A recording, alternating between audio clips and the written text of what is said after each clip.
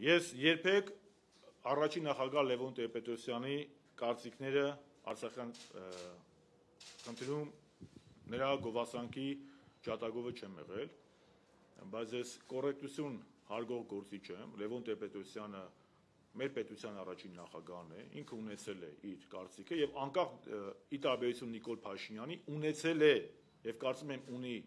իզախություն իր կարծիքը թեկուզ որ դուր չի գալիս մեզ հստակ ասել